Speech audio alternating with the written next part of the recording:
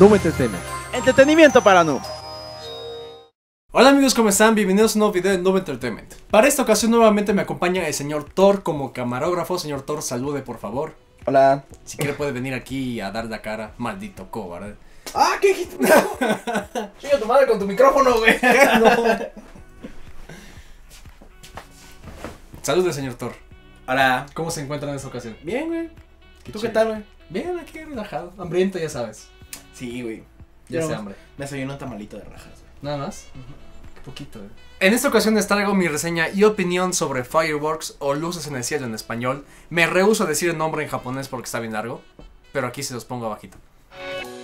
打ち上げ花火下から見るか横から見るか Dirigida por Akiyuki Shimbo, en compañía de Nobuyuki Takeuchi, y está basada en una novela y películas de 1993. Vagamente les comento, la película trata sobre un grupo de chicos que quieren ir a ver los fuegos artificiales ahí en su pueblo. Y de este grupo nos centramos en el protagonista Norimichi, el cual termina haciendo un pequeño cambio de planes debido a Nazuna, la chica que le gusta, y a partir de aquí se desarrolla el resto de la historia, que toma, digamos, un tinte poco realista o sobrenatural comparado a otra película como Your Name. De entrada tengo que decir que la película me decepcionó un poco. La película se me hizo un tanto lenta y sinceramente la trama llega a ser un poquito confusa. Yo creo que en especial para gente que no está acostumbrada a ver anime o historias de este tipo. Y simplemente como que no terminan de explicar por qué suceden las cosas. Y personalmente no me gustan ese tipo de finales como el que tiene esta película.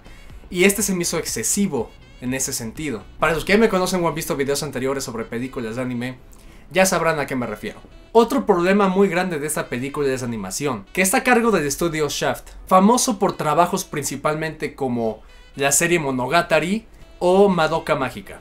Que tengo que decir es de mis series favoritas, principalmente Monogatari. Y cuando vi que esta película tenía el mismo tipo de animación, me entusiasmó demasiado. Y ya que la vi terminó decepcionándome, porque la descuidan bastante. Si en las escenas más importantes mantienen animación como debe de ser y se ve muy bonita, en la mayoría de la película la descuidan y se ve una gran diferencia. Y aún así las escenas bonitas en donde se puede ver toda esta animación como realmente debe de ser, no terminan de llenarte o son tan buenas como otros trabajos que hemos visto. E incluso comparada con la animación de otras películas como Koen no Katachi o Asylum Boys para los que no la conocen en japonés.